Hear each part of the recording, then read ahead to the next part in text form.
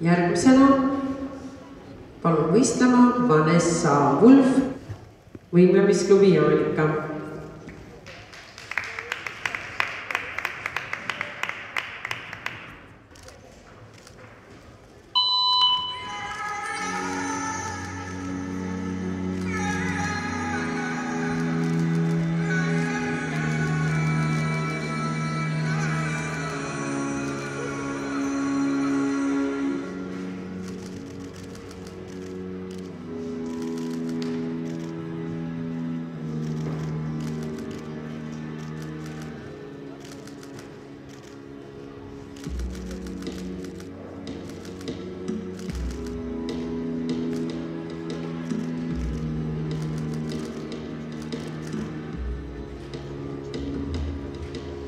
Thank mm -hmm. you.